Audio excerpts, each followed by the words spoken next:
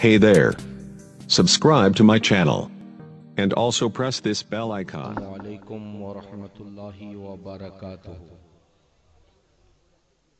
Alhamdulillah.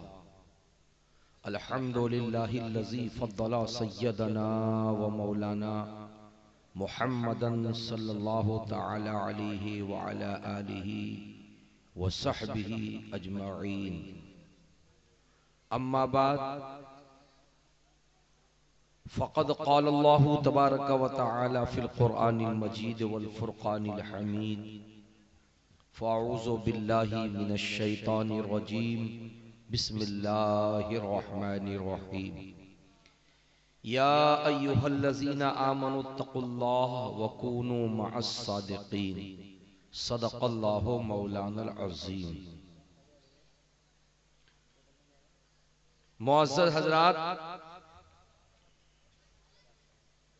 आइए कुछ अर्जो मारू से पहले हम और आप सब लोग मिलकर अपने और सारे जहान के मरकज अकीदत आकाए नामदार मदनी ताजदार सैयद अबरारो अखियार शहनशाह जी वकार हुजूर ताजदार मदीना राहत कल्बो सीना सरकार अहमद मुजतबा प्यारे मुस्तफ़ा जनाब मोहम्मद रसूलुल्लाह। और वाहुना फिदा सल्लल्लाहु अलैहि वसल्लम की बारगाह में बाआवाज बुलंद। दुरूद शरीफ का नजराना पेश करें और पढ़े झूम कर अल्लाहुम्मा सल्ले अला। सैयदना शफीना तबीबा कुलूबिना मावाना मलजाना मोहम्मद वालिही व बारिक वसल्लिम। सलातम व सलामन या रसूल अल्लाह वसल्लम अलैका या हबीब अल्लाह सल्लल्लाहु अलैहि वसल्लम। आज हम और आप वली कामिल, हुजूर मियाँ बाबा रहमतुल्लाह ताला अलैह के उर्से पाक में हाजिर हैं। आपकी बस्ती के लोग बहुत खुश नसीब हैं कि अपनी मेहनत से जो कमाया आप लोगों ने उसका कुछ हिस्सा उर्से पाक में आपने खर्च किया।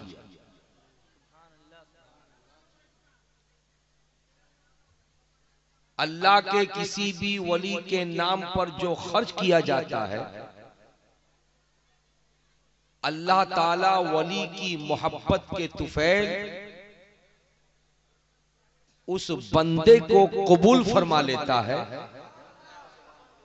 जो बंदा वली की मोहब्बत में अपने तन मन धन की कुर्बानी पेश करता है। और हम लोग तो सुन्नी सहीउल अकीदा है। मसल के आला हज़रत पर चलने वाले हैं। गौसो ख्वाजा के मानने वाले हैं इमाम आज़म अबू हनीफा के बताए हुए उसूल और जाब्ते पर अमल पैरा होकर अपनी ज़िंदगी के आमाल हसाना करने वाले हैं। हम लोगों का ईमान कहता है। कि देने वाला है खुदा। देने वाला कौन है? बोलो बाबू। देने वाला और बांटने वाले हमारे नबी हैं। और ये मैं नहीं कहता, मेरे प्यारे नबी फरमाते हैं, वल्लाहो मोती व इन्नमा अना कासिम। अल्लाह अता फरमाता है और मैं तकसीम करता हूँ। तो जब मेरा खुदा देने वाला है, मेरे नबी बांटने वाले हैं तो दुनिया की कोई ताकत है जो हमें अल्लाह की नेमत से महरूम कर दे? एक मकूला आप कहते हैं जिसे अल्लाह रखे, उसे कौन चखे? देने वाला खुदा है, बांटने वाले नबी हैं। खुदा की बारगाह में किसी चीज़ की कमी नहीं। और नबी को जो बांटने के लिए खुदा ने दिया है, और जब नबी तकसीम करने के लिए उतर जाते हैं तो कौन कहता है कि नबी से ये मिलेगा वो नहीं वो मिलेगा ये नहीं। अरे जब मेरा खुदा देने वाला है तो बंदों को जिन जिन चीज़ों की ज़रूरत थी अल्लाह ने वो सब कुछ अपने महबूब को दे दिया। अब महबूब को मालिक के कुल बना दिया। प्यारे महबूब तुम्हारी उम्मत में जिसको जो चाहिए तुम अता कर। और उसके बाद कुरान पाक में अल्लाह तबारक व ताला ने खुद फरमाया माँ आता कुमुर रसूल फखजू ऐ लोगो जो मेरे नबी तुमको दे दे तुम ले लो तो जब नबी देने वाले हैं और बंदा लेने वाला है तो अब देने वाला भी कंजूस नहीं है। लेने वाला भी कंजूसी ना करे। देने वाला जब फराख दिली से दे रहा है तो लेने वाले को चाहिए कि दामन फैला दे। और हमने देखा, मेरे नबी ने मक्के की सुनहरी वादी से लेकर मदीने की सरजमीन तक, और मदीने की सुनहरी वादी से लेकर के मैदान बद्र तक, मैदान बद्र से लेके मैदान ओहद तक, मैदान ओहद से लेके मैदान खंदक तक, हर जगह मुस्तफ़ा जाने रहमत ने तकसीम किया है। और प्यारे नबी ने तिरसठ साल ज़िंदगी ज़िंदगी गुजारने के बाद जैसे आँखों को बंद किया तो नबी कौनो मका का नवासा? मेरा हुसैन खड़ा हो गया और खड़ा होकर के जो कुछ मिला था अपने नाना से, वो मदीने से लेके मक्के तक और मक्का से लेके करबला तक आता रहा और नाना के मानने वालों को देता हुआ नज़र तो हज़रत मुकर्रम, हम और आप बड़े खुश नसीब हैं कि हम लोग अल्लाह ताला के करम से अपने नबी के चाहने वाले हैं नबी के आशिक हैं नबी देने वाले हैं और हम लेने वाले अब मैं ठहर के एक बात मैं आपसे पूछना चाहता हूँ। मेरे नबी को दुनिया में आए हुए कितने साल हो गए? बच्चे ने हिसाब सही बताया कमोबेश साढ़े चौदह सौ साल। अभी जलसा खत्म होगा। तो कमेटी वालों ने आप लोगों ने कुछ शिरनी रखा है कि नहीं रखा? क्या रखा है? हाँ? तबरुक रखा है। तबरुक में पुलाव बनाया क्या बनाया? बिरयानी। ये बिरयानी बांटने के लिए जब लड़के खड़े होंगे तो दो डेग चार डेग पाँच डेग आठ डेग दस डेग जितना भी बना हो वो खत्म होगी कि नहीं बिरयानी? और अभी नहीं होगी सुबह सात बजे तक। सात बजे नहीं दोपहर बारह बजे तक। दोपहर बारह बजे नहीं शाम चार बजे तक। खत्म होना है कि नहीं होना? है। और शाम चार बजे के बाद कोई कलकत्ता से आए आपके गाँव का आदमी बोला हम तो कल जलसा में थे नहीं तो मेरा तबरुक दो। तो आप क्या कहोगे? अरे बोलो ना जी आप क्या कहोगे? बोल बेटा खत्म हो गया। हजरात समझ में ये आ गया कि जिसको आप बांटो, वो खत्म हो जाए। जिसको मैं बांटू, वो खत्म हो जाए। जिसको हज़रत नायाब मंजर बांटे, वो खत्म हो जाए। जिसको हज़रत मौलाना अनवार अशरफ बांटे, वो खत्म हो जाए। जिसको शहकार तरन्नुम ख्वाजा गुलाम सरवर बांटे, वो खत्म हो जाए। जिसको मस्जिद का इमाम बांटे, वो खत्म हो जाए। जिसको बाबा बांटे, वो खत्म हो जाए। जिसको दादा बांटे, वो खत्म हो जाए। लेकिन साढ़े चौदह सौ साल का जमाना गुजर गया। मेरे नबी जो बांट रहे थे आज भी बांट रहे हैं। वो खत्म नहीं हुआ।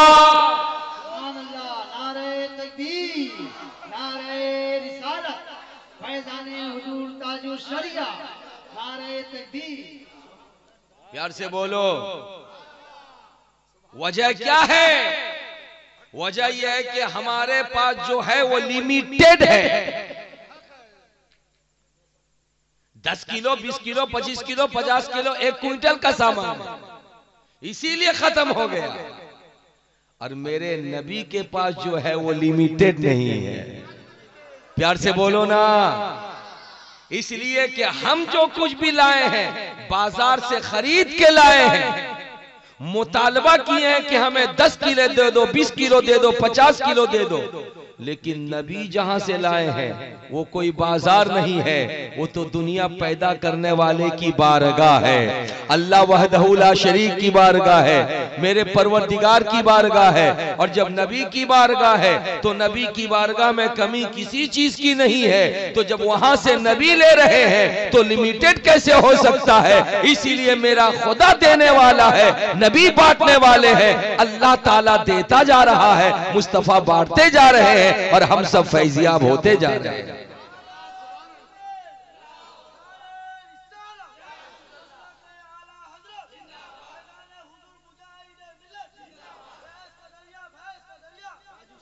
इसीलिए किसी कहने वाले ने कहा था। सुनेंगे आप लोग? खुदा देने वाला नबी लेने वाले अरे बोलो ना भाई सुबह अल्लाह आप लोग भी बोलिए दाहिनी तरफ़ के लोग। खुदा देने वाला नबी लेने वाले वो कितना दिया है ये अल्लाह ही जाने।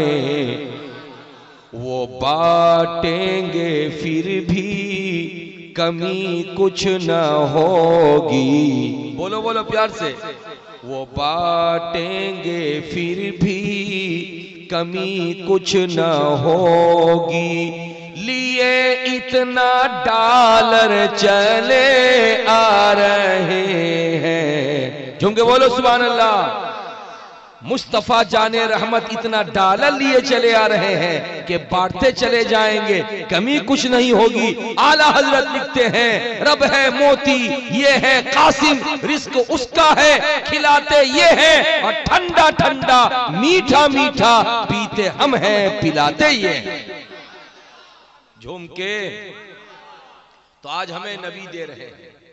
अगर कोई बंदा कहे कि मुस्तफ़ा जाने रहमत पैदा होने के बाद फिफ्टी थ्री ईयर्स यानी तिरपन बरस मक्के में रहे, अखीर के दस बरस मुस्तफ़ा मदीने में रहे तो प्यारे नबी ने तिरपन बरस तक मक्के में रह के बांटा, दस बरस तक मदीने में रह के बांटा। अब दस बरस के बाद तो उनका इंतकाल हो गया। कब्र अनवर में सो के हैं। जब बंदा मर जाता है तो मरने के बाद फिर किसी को देने की ताकत नहीं रहती। इसलिए नबी मक्के में थे तो देते रहे, मदीने में थे तो देते रहे। अब तो कब्र में है तो अब उनके पास की ताकत नहीं है कि किसी को दे। मैंने उसको पकड़ा कहा नादान सुन ले।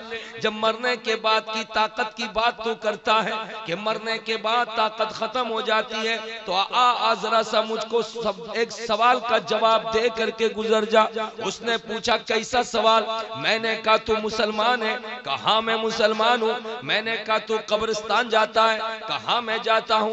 मैंने पूछा, कैसे जाता है? तो कहा कि कब्रस्तान जाता हूँ तो दाखिल होकर के पहले मैं कब्र वालों को सलाम करता हूँ, कहता हूँ, अस्सलाम वालेकुम या कबूर। अब मैंने पकड़ा उसको। मैंने कहा, नादान, ये कब्रिस्तान में जितने सोए हैं, मरे हैं कि ज़िंदा है? का मरे हुए हैं। तो जब मरे हुए हैं तो तू जाकर के उनको सलाम करता है तो तेरे सलाम को सुनते हैं वो? सलाम को सुनते हैं? बोला हाँ सुनते हैं। हमने कहा, एक तमाचा मारूँगा, नादान कहेगा। जब आदमी मर जाता है तो सुनता कैसे बे? तो कहा कि अगर नहीं सुनता तो सलाम करने का तरीका तो नबी ने बताया। है मैंने कहा, तुझको मालूम है, नबी ने बताया, कहा नबी ने बताया? अच्छा ये बता, मुर्दा सिर्फ़ सलाम सुनता भी है कि जवाब भी देता है। तो कहने लगा कि जो जवाब देने की ताकत नहीं रखता, उसको सलाम नहीं करना चाहिए। अगर नबी ने कहा कि कब्रिस्तान में सलाम करो, इसका मतलब कब्र वाले जवाब देने की ताकत रखते हैं। मैंने कहा, नादान, तूने सलाम किया था, कब्र वाला सुन लिया। और जब उसने जवाब दिया तो बता तू सुना या ना सुना? तो कहा कि नहीं, मैं नहीं सुन सका। मैंने कहा, समझ में आ गया। तू ज़मीन पर चलता फिरता है, मगर तेरी ताकत कम है, और वो ज़मीन के अंदर सोया हुआ है, उसकी ताकत ज़्यादा है। वो तेरा सलाम भी सुनता है, जवाब भी देता है, मगर वो जब जवाब देता है, तू सुन नहीं पाता है। वो दो काम करता है, तू एक काम करता है। अबे नादान सुन, जब कलमा पढ़ने वाला, पाँच कूड़ा का मुसलमान, कलमा पढ़ने वाला खड़ग गोरखपुर का मुसलमान, कलमा पढ़ने वाला, कलकत्ता का मुसलमान, कलमा पढ़ने वाला, अमेरिका का मुसलमान, कलमा पढ़ने वाला, हॉलैंड का मुसलमान, कलमा पढ़ने वाला, इंडिया का मुसलमान, कलमा पढ़ने वाला, तुम्हारी और मेरी बस्ती का मुसलमान, जब मरने के बाद सुनने की ताकत रखता है और जवाब देने की भी ताकत रखता है, जब कलमा पढ़ने वाले की ताकत का ये आलम है तो मदीने में सोने वाले तो नबी कलमा पढ़ाने वाले हैं। झूम के बोलो। कलमा पढ़ाने वाले हैं। जब कलमा पढ़ने वाले की ताकत का कोई जवाब नहीं तो कलमा पढ़ाने वाले की ताकत का क्या जवाब? प्यार से बोलो। पता ये चला कि मेरे नबी ज़िंदा है। बोलना भाई। मेरे नबी। अच्छा यहाँ ठहर के बताओ भैया। आप लोग कभी मुर्दे का जवाब सुने? अरे बोलो ना। ए बाबू, बोल रे। तू तो ऐसा मुँह घुमा रहा, मालूम था कभी सुना है। है? सुना है? ए बच्चा, तू सुना रे? हंस रहा है। अरे कब्रस्तान में कभी गया बेटा? नहीं गया, वो डर गया। तुम गए बाबू? सुना है कभी? अगर नहीं सुना है तो ठीक है, सुनने की कभी कोशिश मत करना। अगर कभी सुन लिया, तीन दिन तक बिस्तर पकड़ लेगा बेटा। तीन दिन तक कोई डॉक्टर काम नहीं करेगा, और उसके बाद तेरा क्या हाल होगा, ये तू ही जाने अब जब बात आ गई है तो सुनो, एक कब्रिस्तान में एक मास्टर साहब जाते थे फातिहा पढ़ने के लिए। आपके गाँव में कोई मास्टर साहब है? अरे बोलिए ना। कोई नहीं है। है ना मास्टर साहब? वो मास्टर साहब ऐसे थे कि स्कूल में बच्चों की खूब पिटाई करते थे। सुनिए। अब वो जब अपने घर से निकलते थे तो स्कूल पहुँचने के लिए बीच में कब्रस्तान से गुजरते थे। उस कब्रस्तान में उनकी अम्मा की खबर थी। रोज़ाना का मामूल था कि अपने घर से निकलते साइकिल लेके और कब्रस्ताए माँ बहनों। ए हवा की बेटियों बैठो चुप से।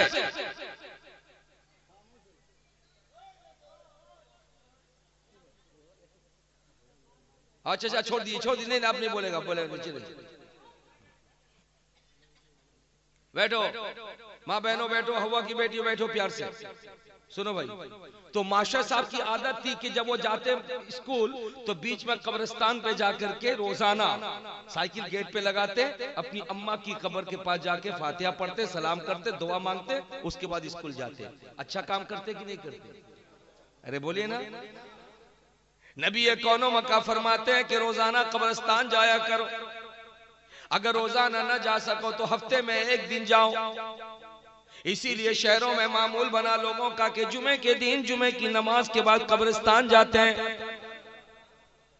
और अगर तुम रोज हफ़्ते में एक दिन जा ना सको तो महीने में जाया करो। महीने में जा ना सको तो जब जब तुमको टाइम मिले तब तब जाया करो। नबी फरमाते हैं कि जिस कदर कब्रिस्तान जाओगे कब्र पे नज़र पड़ेगी तो कब्र वाला याद आएगा। और जब कब्र वाला याद आएगा तो अपनी मौत याद आएगी। और जिस बंदे को मौत याद आती है, वो बंदा गुना कम करता है। प्यार से बोलिए। लेकिन औरतों को हुक्म है कि औरतें कब्रिस्तान न जाएँ। इसलिए कि ये औरतें मस्जिद नहीं जाती, नमाज़ पढ़ने उनके लिए मना है। मर्द मस्जिद जाके नमाज़ पढ़ता, जितना सवाब पाता है औरत बंद कोठरी में अकेले नमाज़ पढ़ेगी, उतना सवाब उसको अल्लाह अता करेगा। ऐसे ही मर्द जाकर कब्रिस्तान में फातिहा पढ़ेगा।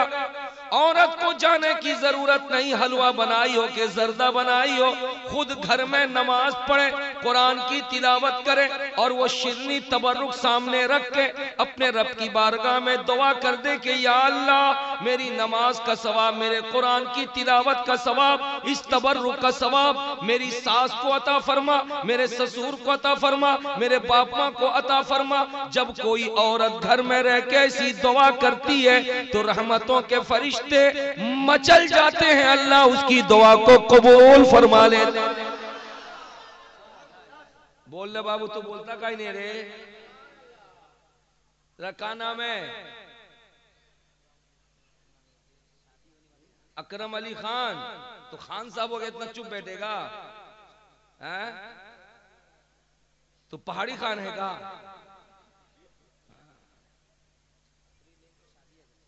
अच्छा ये लड़के ने सवाल किया था कि हम लोग भी जब खान है तो काबली खान की तरह क्यों नहीं है?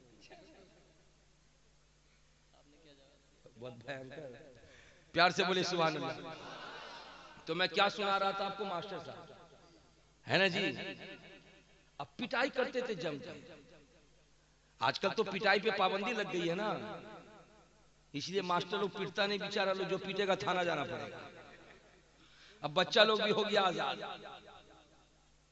अब पहले अब्बा अम्मा जब स्कूल या ट्यूशन में लेके छोड़ते थे मास्टर के पास तो बोलते थे कि हज़रत हड्डी मेरी है, गोश्त आपकी मार के निकाल दीजिए अरे बोलो ना, आप लोग कहाँ देखे हो बाबू? आपके अब्बा लोगों से पूछो।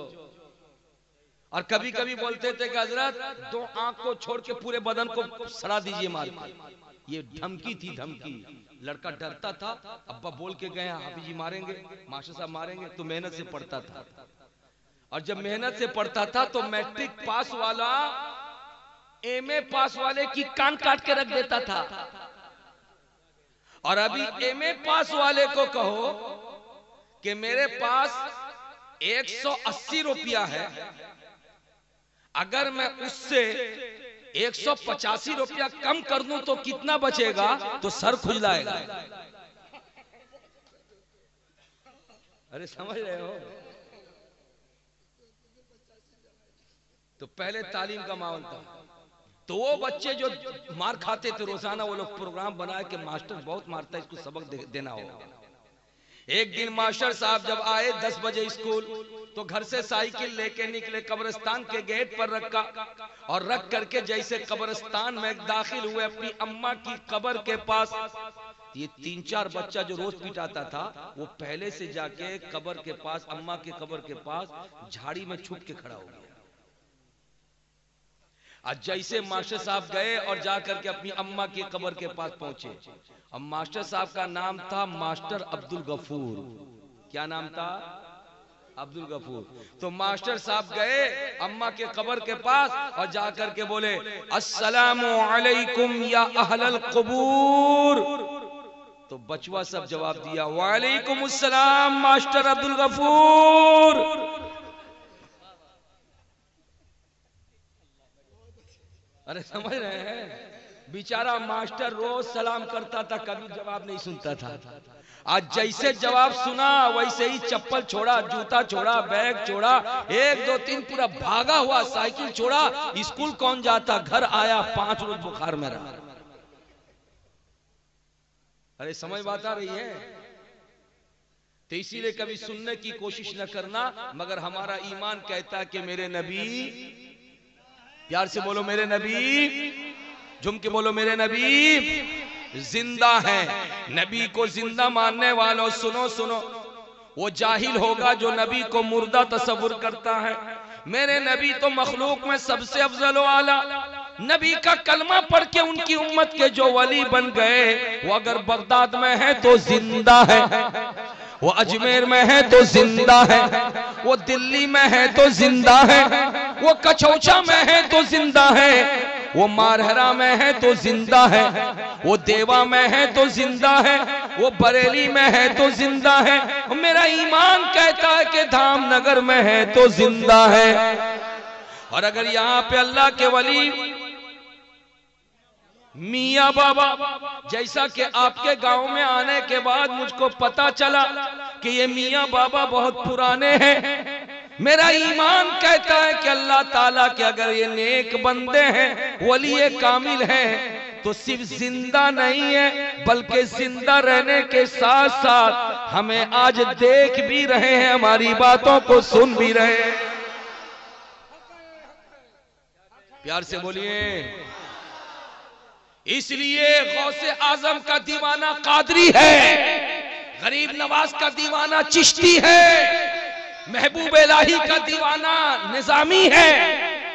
आला हज़रत का दीवाना रजवी है। दुनिया के किसी भी कोने से कोई दीवाना जब अपने आका को पुकारता है तो अल्लाह तबारक व अपने नेक बंदों के लिए दूरी और नजदीकी के मामले को खत्म फरमा देता है और वो सुन लिया करते हैं। तो जब बगदाद के गौस सुनते हो, अजमेर के खाजा सुनते हो कचौशा के मखदूम सुनते हो देवा के वारिस सुनते हो, बरेली के आला हज़रत सुनते हो तो इन सबों का आका मदीने में आराम करते हुए क्यों नहीं सुनेगा? आला हज़रत अजीमुल बरकत, मुजद्दीद मिल्लत, इमाम अहमद रजा कहते हैं, दूरो नज़दीक के सुनने वाले वो कान, काने लाले करामत पे लाखों शमे बज में हिदायत पे लाखों सलाम। प्यार से बोलिए सुबह अल्लाह झूम के बोलिए माशा अल्लाह तो मेरे नबी सुनते हैं, इसलिए कि नबी ज़िंदा है। नबी और आप लोग भी अल्हम्दुलिल्लाह ज़िंदा हैं। अरे बोलिए ना। ज़िंदा है ना? अरे बोलो ना बाबू। ज़िंदा है। अल्लाह ताला आप लोगों को ज़िंदा रखे। कुछ लोग नाम की बुनियाद पर ज़िंदा, कुछ लोग काम की बुनियाद पर ज़िंदा। और कमाल इसी में है कि आदमी ज़िंदगी में काम ऐसा करे कि उसके मरने के बाद उसका काम भी ज़िंदा रहे उसका नाम भी ज़िंदा रहे। और आज के दौर में कंजूस लोगों की कमी नहीं है। गाली बकने वालों की कमी नहीं है। और लकड़ी लगाने वालों की भी कमी नहीं है। और सुबह सो के उठने के बाद चाय खाने पे बैठ जाना इसका बेटा ऐसा किया उसका बेटा वैसा किया उसकी बेटी भाग गई उसकी बहू भाग गई ऐसे लोगों की भी कमी नहीं अरे बोलो ना जी। और हमारी माँ बहनों का क्या कहना? माँ बहनें जब बूढ़ी हो गई, सास बन गई तो घर का काम काज खत्म। अब सो के उठेंगे, मुँह हाथ धुलेंगी पोते को गोद में लेंगे। मुँह में पान, दूसरे के आँगन में कुल्ली। अरे, तेरी बेटी कहाँ गई? मेरी बेटी ऐसी, उसकी बे बहू भाग गई। अरे, उसको मालूम ने वैसा किया वैसा किया। अच्छा चुप चुप चुप चुप चुप, देख, फला आ रहा, चुप चुप चुप चुप चुप चुप। अरे, बोलो ना जी। अरे, होता कि नहीं होता है? बोलिए, चचा। होता है ना? कितनी लकड़ी लगाती हैं? और उसी औरत से कह दो कि चची ये जो पूरा दिन भर पूरे बस्ती में घूमती रहती है इसकी बहू भागी उसकी बेटी भागी ये सब खत्म करके नमाज़ पढ़ो ना। बोले क्या बोले बेटा यहाँ दर्द होता है। अरे बोलिए ना जी। यहाँ दर्द होता है। अच्छा मैं पानी दम करके देता हूँ तेल दम करके देता हूँ लगाओ एक हफ़्ते में ठीक ठाक हो जाएगा अच्छा बेटा दे। और उसके बाद पानी दम करके पी एक हफ़्ते तक लगाई वो बीमारी ऐसी काहे खत्म होगी? जिस दिन खत्म होगी नमाज़ पढ़नी होगी। बोलिए चचा है ना? बुढ़ापे में चचा चची का झगड़ा बहुत होता है। हाँ। बात सही है। कोई इनकार नहीं कर सकता है। सब घर में कुछ ना कुछ छोटा मोटा ठुक ठाक होता है। जवानी में खूब प्यार, मोहब्बत, बुढ़ापे में इसका मुँह इधर, उसका मुँह उधर। अब बिल्कुल डांट के रखती है बुढ़िया। डांट के जहाँ बेचारा बुढ़ो बोल दिया, चचा मिया बोल दिए, अरे क्या हुआ है, वो बच्चे का क्या हुआ? बोला, बच्चे का क्या? तुम चुपचाप रहो। तुमको क्या मतलब? तब बेचारा चाय खाने में जाके बोलता कि, क्या बोलूँगा? जाए मरने दो वो लोग, मेरा मेरा कोई नहीं बन सुनता है। न बेटा सुनता है, न बहू सुनती है, न बीवी सुनती है। ऐसे हालात बने हुए हैं। बोले भाई है कि नहीं है? तो हजरात खाली बुढ़िया परेशान नहीं है। ये जवान बहु लोग भी कम नहीं है। इसका काम सुबह उठ करके नाश्ता पानी बना देना आँगन भर देना और खिला पिला करके घर के बच्चों को स्कूल और अपने शहर को कामकाज। उसके बाद टीवी का रिमोट लेके बैठ जाना। रिमोट लेके बैठ जाना। और दोपहर में जैसे बेचारा मियाँ काम से आएगा तो दाल बगार रही होगी। अरे, इतनी देरी खाने में क्या कर रही थी? क्या कर रही थी? क्या समझते हो? घर में एक दिन रह के देखो ना कितना काम है, तुमको क्या मालूम? बेचारा वो भी चुप।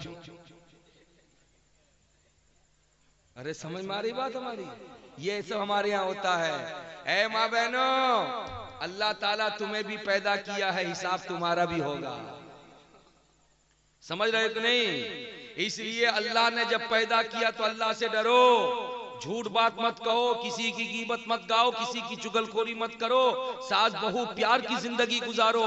बेटे का हक बेटे को दो, बेटी का हक बेटी को दो, मियाँ का हक मियाँ को दो, बीवी का हक बीवी को दो। इसलिए कि इस्लाम ऐसा पाकिजा मज़हब है, जिस मज़हब ने किसी के हक को हड़प नहीं किया है, बल्कि इस्लाम ने हर एक को हक दे करके पूरी दुनिया में इस्लाम ने अपने परचम को बुलंद कर दिया आज घर घर झगड़ा होने की वजह से तीन तलाक का मैटर आ गया। अरे बोलो ना, तीन तलाक के बारे में सुने हो? तीन तलाक का मैटर आ गया। खाली पेपर में नहीं है, चचा। पूरे हिंदुस्तान में खलबली मची है। मुखालिफ पार्टी को और मुस्लिम जमात के दुश्मनों को मौका मिल गया कि हम मुस्लिम औरतों की हिफाजत करेंगे। मुस्लिम मर्द अपनी बीवी को एक बैठक में तीन तलाक दे देता है। हम इसको बिल्कुल डिटो करेंगे। एक बैठक में तीन तलाक देने से तीन तलाक नहीं होगी। हमने पूछा, वाह, बीवी मेरी है, बहन मेरी है, माँ मेरी है, हमारे घर की वो आबरू है, हमारे घर की इज़्ज़त है, उसको बचाने की फ़िक्र तुमको? भाई मुस्लिम घर की बहू बेटी की फ़िक्र तुमको कैसे?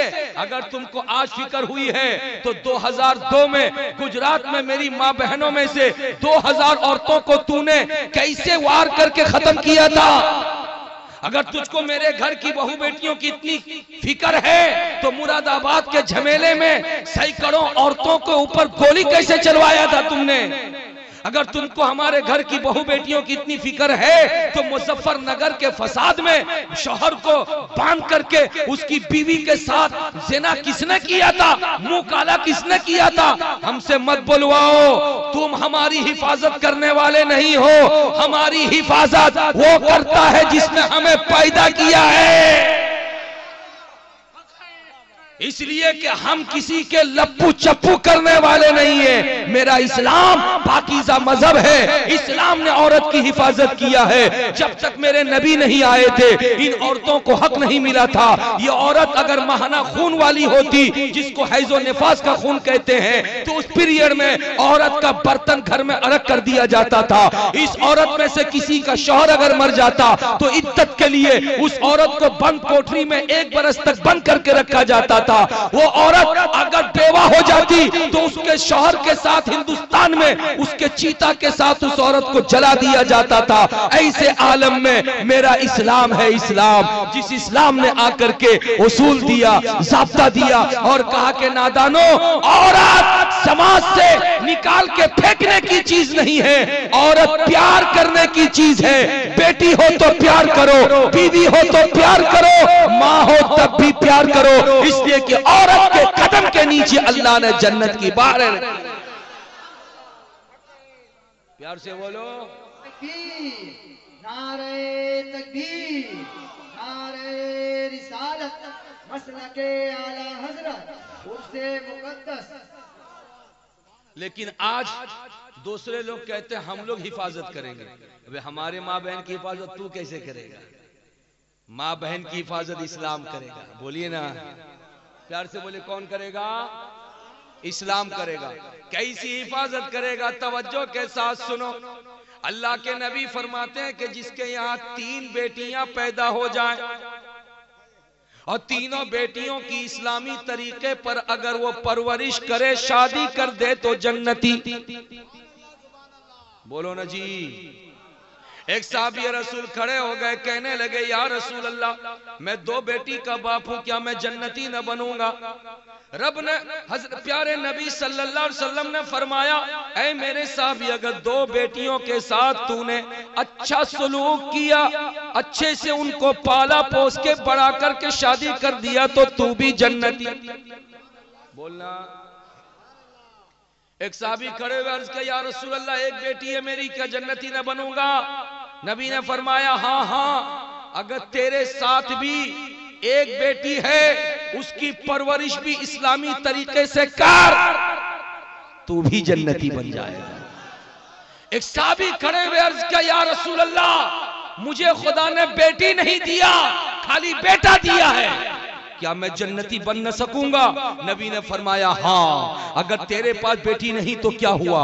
तेरे पड़ोस में बेटी होगी तेरे रिश्तेदार के यहाँ बेटी होगी दूसरे की बेटी को अपनी बेटी जैसा प्यार दे दे तू भी जन्नती बन जाएगा। जुम के बोलो। और आज तो हालात ऐसे हो गए कि शादीशुदा जुड़ा जोड़ा शादीशुदा जोड़ा। तमन्ना दिल में रखता कि औलाद हो। और अल्लाह करे, शादीशुदा जोड़े को अल्लाह औलाद दे दे। लेकिन जब बेटी पैदा हो जाए तो तीन दिन तक बिस्तर से न उठे। तीन दिन तक, मुँह भारी। किसी को फ़ोन करके न बताए कि डिलीवरी हुई है। लोग फ़ोन करके पूछे पूछेगा, डिलीवरी होने वाली थी हुई। हाँ हो गई। क्या बेटी हुई? अब बेटा जब हो तो मोबाइल में पाँच सौ रुपये खर्चा हो जाए। अब मोबाइल दिन भर दूसरे को अरे बेटा हुआ है। हेलो, अरे मुबारक, बेटा हुआ है। अरे बेटा हुआ है। अरे बेटा हुआ है। अरे बेटा हुआ है। बोलो, है या नहीं? ऐसा बेटी हो जाए तो चेहरा उतर जाए। मुँह बन जाए। बेटा हो तो? बोलो ना। अरे चेहरा ऐसा वैसा खिलता है जिसके यहाँ बेटी पैर उसका तो चेहरा खिला बेटा होने से। अब बेटी होने से चेहरा उतरा। अब बिचारी उस औरत पर जुल्म होता है जो औरत बहू बन के आई है।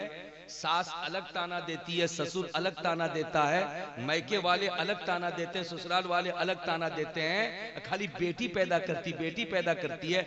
अबे क्या समझते हो? वो घर की बहू है कि मशीन है? अबे मशीन है वो। वो। जानती है कि ये डालने से बेटा होता वो डालने से बेटी होती है।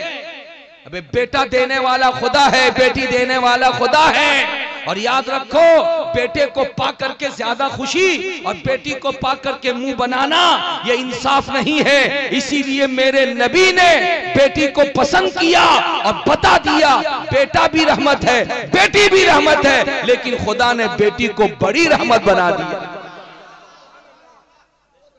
और इसकी एक दलील मैं आपको दे दूँ। एक दलील। बैठ जा रहे बाबू। ए लाडला। अरे बैठ जा प्यारे। ए मुन्ना। जूता निकाल ला या अल्लाह। बैठ जा बेटा, बैठ जा।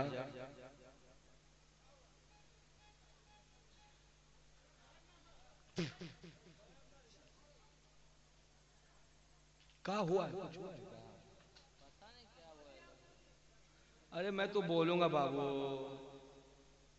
किताब लेकर के आता ना तो तुम लोग नहीं भी मुझको देखता तो मैं चुपचाप नीचे मुँह करके पढ़ पढ़ के सुना देता। लेकिन जो मैं पढ़ा हूँ दिन में, दिमाग में रखा हूँ कि मैं क्या सुनाऊँगा तो उसको मैं पढ़ा, दिमाग में लेकर के आया, तुम लोग जब देखोगे हूँ हाँ टूटा करोगे, तब न दिमाग से निकलता जाएगा। ए बाबू, कुछ बोल रहे हो बोलो ना, कुछ बोलना है तो। अच्छा ठीक है, चलो, आप चुप रही ना, वो ठीक बाबू कुछ हुआ है। फ़ोन उन आया कहीं तुम्हारा। लीजिए। अभी जलसा खत्म नहीं हुआ, तबर्रुक के लिए परेशान या अल्लाह। अबे, कोई तबर्रुक नहीं खाएगा। एक अप्रैल की शादी है। यार आप तो आए ना आप ना पूरे बस्ती के लड़कों की शादी करा के जाइएगा का कई बोलते इसकी शादी एक अप्रैल की, इसकी शादी एक अप्रैल को, अभी और जो उसकी शादी, सब दावत दे दी आपको? अच्छा लीजिए साहब। इसीलिए इतना आज खुश नज़र आ रहे हैं। हैं? अरे बहुत गलत किया तुम। हम लोग को दावत नहीं दिया। तुम्हारी भी शादी है। शादी हो गई है। बड़ा संभल के शादी करेगा। कितने शादी करके बेचारे रो रहे हैं। हाँ। तो तवज्जो हाजिर कीजिए, मैं क्या बोल रहा था आपके सामने? बेटा बेटी है ना जी? अल्लाह ताला ने मेरे नबी को बेटा भी दिया, बेटी भी दी है। और आप मुसलमान हैं, आपको मालूम है नबी को दो बेटे मिले, चार बेटियाँ मिली। दोनों बेटे छोटेपन में ही इंतकाल कर गए। और चार बेटियाँ जो अल्लाह ने दिया तो चारों जवान हुई चारों की शादी नबी ने किया। झूम के ऐ परवरदिगार तुझको जब बेटा ले लेना था न जल्दी तो तूने दिया क्यों? तो रब की रहमत कहेगी कि मेरा महबूब जिसके सामने कहता कि कलमा पढ़ो मैं नबी हूँ। तो हो सकता कोई उंगली दिखा के कह देता कौन नबी जिसको अल्लाह ने बेटे से महरूम रखा वो नबी। इसीलिए मैंने बेटा दे दिया ताकि मेरा नबी जिसके सामने कहे कलमा पढ़ो, वो बिला चू चरा मेरे नबी की नबूवत को देखकर कलमा पढ़ लेता। अल्लाह, तूने जब बेटा ले लिया तो बेटी को क्यों नहीं जल्दी लिया? उनको तूने उम्र दराज क्यों दिया? तो अल्लाह की रहमत पुकारेगी कि मेरा महबूब ऐसे पीरियड में मक्का गया था, जिस पीरियड में बेटों की इज़्ज़त थी, बेटियों की इज़्ज़त नहीं थी। जब बेटियाँ पैदा होती थी तो ज़िंदा बाप लेके उनको दफन कर देता था। वो सोचता था कि मेरा कोई दामाद बने मेरे लिए शर्म की बात। मेरे घर किसी की बारात आए, मेरे लिए शर्म की बात। इसीलिए पैदा होते ही बेटी को ज़िंदा दफन कर दो। मेरा महबूब किया, महबूब को मैंने बेटी दी। और ताकि दुनिया वालों के सामने मेरे महबूब अपनी बेटी से प्यार करें, उनको तालीम दें, उनको पढ़ाएँ, उनको सिखाएँ, वो बड़ी हो जाए। मेरे महबूब उनकी शादी कर दें, ताकि उनके कलमा पढ़ने वाले सुबह कयामत तक समझ जाएँ कि बेटी की परवरिश करना, बेटी से प्यार करना, ये नबी की सुन्नत है। जोम के बोलो ना?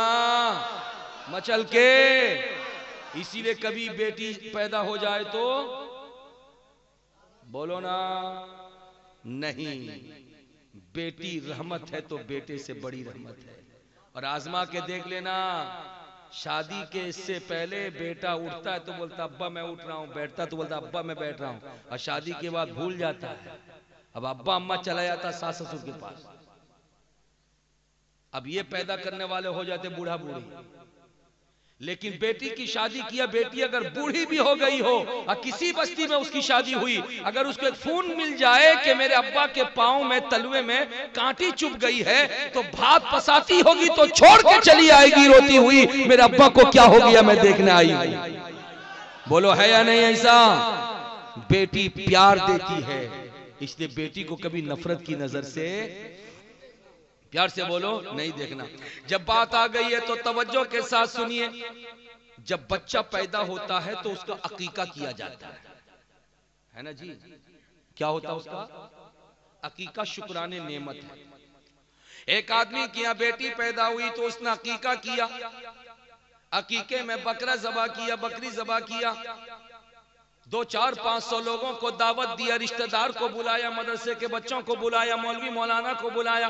खूब धूमधाम से उसने बच्ची का अकीका किया, जलसा भी किया मिला शरीफ भी सजाया और अपने घर के सामने बच्चे के अकीके की खुशी में रिश्तेदारों को बुला करके अल्लाह और उसके रसूल का ज़िक्र भी करवाया। रात गुजर गई, दूसरी रात आई जब अपने घर गया, बीवी ने पूछा, मेरे शौरे नामदार, ये बताओ, माँ बहनों, तवज्जो के साथ सुनना। खुदा बंदे कुद्दूस ने बेटी दिया तो तुमने धूमधाम से अकीका किया। लेकिन बेटी से पहले खुदा ने तुमको तीन बेटे दिए। वो तीनों बेटे मौजूद हैं। इनका भी तुमने अकीका किया, मगर मामूली अंदाज से बस गए बाज़ार से दो बकरा खरीद के लाए और जबा करके पूरे बकरे को उठा के मदरसे में दे दिए, बच्चे खा लिए, खत्म। न दोस्त आए, न अहबाब, न रिश्तेदार, न अपना बेगाना कोई नहीं आया। मेरे शौरे नामदार, मुझको बताओ, तीनों बेटों का अकीका मामूली तौर पर किया और बेटी का अकीका तुमने धूमधाम से किया। जोम के बोलिए, कौन सवाल कर रही थी? बोलो ना रे। बीवी सवाल कर रही थी। अब शोहर ने जो जवाब दिया था वो सुनिए तवज्जो के साथ।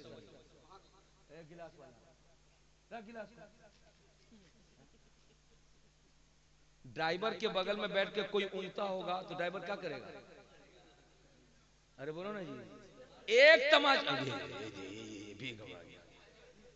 अब एक्सीडेंट से बचने के लिए एक तमाचा खींच के देगा। ये मेरे बगल में बैठ करके चुदुर बुदुर कर रहा है। बोलो। पगला कहीं का? हाँ? हाँ। तो मैं क्या बोल रहा था आपको? बीवी पूछी। कौन पूछा भाई? अब शौहर ने कितना अच्छा जवाब दिया सुनो तवज्जो के साथ। शौहर ने जवाब दिया मेरी प्यारी बीवी तुमको याद होगा जिस दिन हमारी तुम्हारी शादी हुई बस्ती में। तू भी इसी बस्ती की, मैं भी इसी बस्ती का। मेरा दिल चाहता था तुमसे निकाह हो जाए, तू भी चाहती थी मुझसे निकाह हो जाए। अल्लाह ने करम फरमाया, दोनों की शादी हो गई।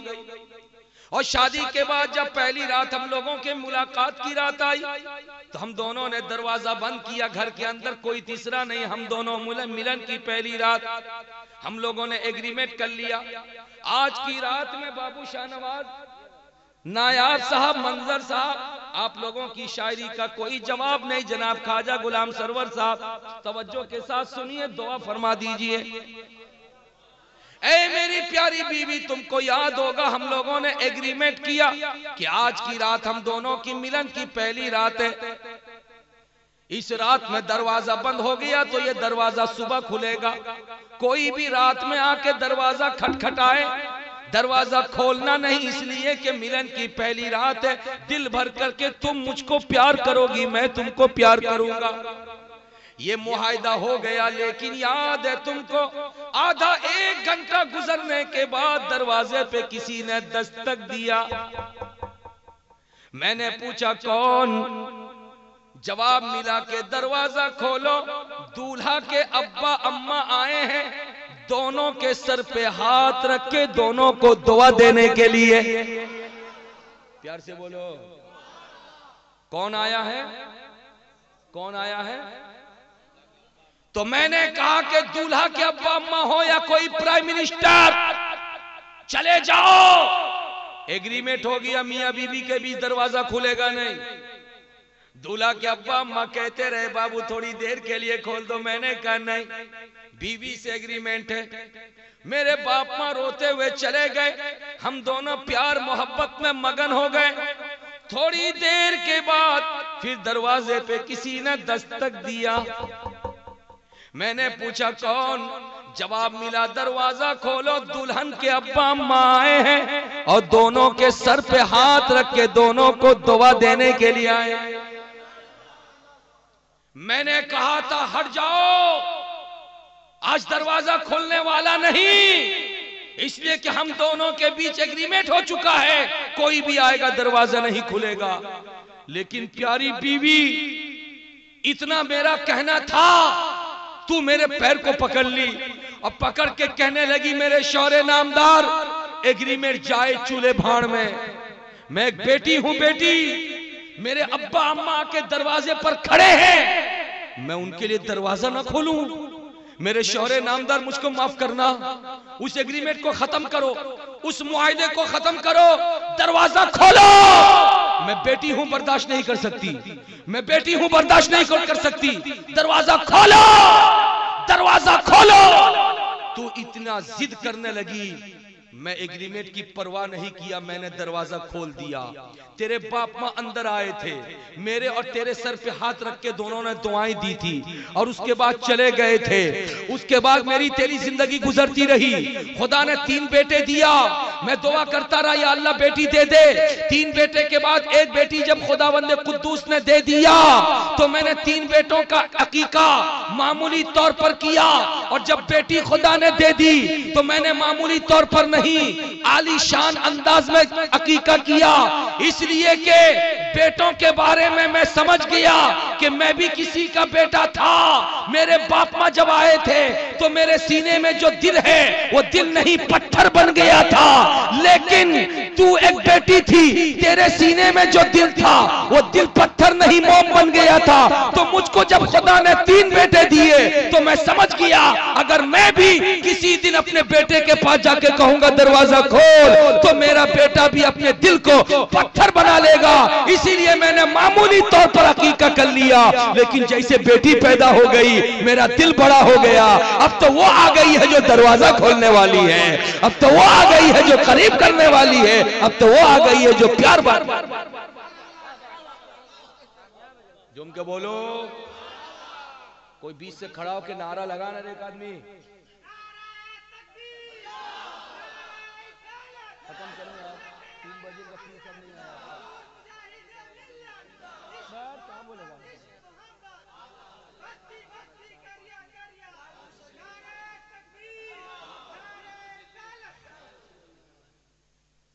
भाई साहब, समझ में आ रही बात हमारी? अरे बोलो ना, कितनी प्यार की चीज़ है। ये कौन दिया है? ये मेरे नबी ने दिया है। ये मकाम किसने दिया है? मेरे नबी ने दिया है। ये रुतबा किसने दिया है? मेरे नबी ने दिया है। गोया के मेरे खुदा ने अपने महबूब को इसीलिए पैदा फरमाया था, महबूब, तुम ज़िंदगी के हर मोड़ पे ऐसा काम कर दो कि तुम्हारी सुबह को देखे लोग तो उनको सुबह गुजारना आ जाए, तुम्हारे दोपहर को देखे दोपहर गुजारना आ जाए, तुम्हारे सोने को देखे उनको सोने का तरीका मालूम हो जाए, तुम्हारे खाने को के तरीके को देखे उनको खाने का तरीका मालूम हो जाए तुम्हारे बाल बच्चों के साथ प्यार, मोहब्बत, बांटना देखें तो उनको बाल बच्चों के साथ प्यार, बांटना भी आ जाए। पड़ोसियों के साथ नेक सलूक देखें तो हर मुसलमान को पड़ोसी के साथ नेक सलूक करना भी आ जाए। गोया कि ज़िंदगी में मेरे नबी अपनी कब्र में ज़िंदा है, इसलिए कि नबी की ज़िंदगी से ही आज उनका कानून भी ज़िंदा है, उनकी शरीयत भी ज़िंदा है, उनका तरीका भी ज़िंदा है, उनका दस्तूर भी ज़िंदा है। दुनिया की ताकत उस दस्तूर को मिटा नहीं सकती, इसलिए कि दुनिया का दस्तूर, दुनिया वालों का बनाया हुआ दस्तूर है और इस्लाम का दस्तूर, दुनिया वालों का नहीं, दुनिया पैदा करने वाले खुदा का बनाया हुआ दस्तूर।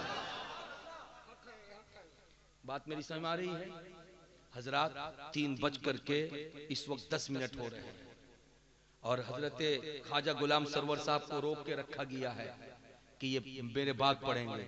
अब आप लोगों के पीर किबला की भी आमद आमद है इसलिए मैं ये चाहता हूं कि मैं अपनी तकरीर स्टॉप करूं ताकि जनाब ख्वाजा गुलाम सरवर साहब को भी पढ़ने का मौका मिले और फिर आपके पीर आवे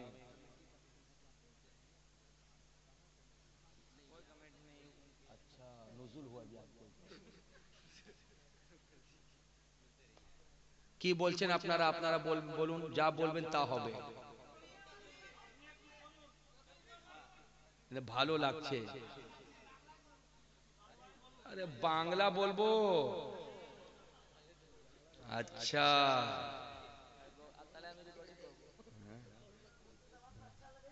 हाँ। कौन बोला लगे ठीक लगे और समझ नहीं पा रहा। समझते हैं ना? तब फिर क्या है? अब बांग्ला बक्ता तो है मौलाना उजीर उजीर तो बोले गए तो बांग्ला আরে বলুন না। আরে আমাকে ভালো বাংলা বাংলা বলতে আসে না। হ্যাঁ। আচ্ছা আপনি বলবেন? তো ঠিক আছে। তো দুটা কাজ করবেন আজ, আজকে আপনি আপনি। নাতবি পড়বেন, বক্তব্য রাখবেন। হ্যাঁ, বাংলারে বলব। তো বুঝা গেছে কত বাংলা জানছেন আপনি। হ্যাঁ। हज़रत, तवज्जो हाजिर कीजिए। ओ तैयब बाबू के अब्बा का हुआ पीर साहब का। हाँ? जाइए देखिए। मैं तो बोल रहा हूँ, हज़रत खाना तक तो बोलूँगा। आप देखिए उस तरफ़। अच्छा तो अच्छा लग रहा ना बाबू? अरे बोलो ना, क्यों नहीं अच्छा लगेगा? इसलिए कि मैं अपने बाप की बोली नहीं बोल रहा हूँ, रसूल पाक की बोली बोल रहा हूँ। इस्लाम। क्या बोल रहे भैया? इस्लाम का जो कानून है। अच्छा एक बात बताइए मेरी बात आपको समझ में आ रही कि नहीं आ रही वाह यही सबसे बड़ा कमाल है। सबसे बड़ा कमाल इसी को कहते हैं।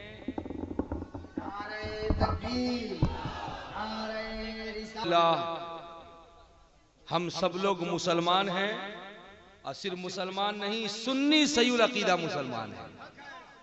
और जो सुन्नी सयूल अकीदा मुसलमान होता है, वो नबी की भी इज़्ज़त करता है, साहबा की भी इज़्ज़त करता है, अहले बैते अतहार की भी इज़्ज़त करता है, पंजतने पाक की भी इज़्ज़त करता है, और अल्लाह के वलियों की भी इज़्ज़त करता है।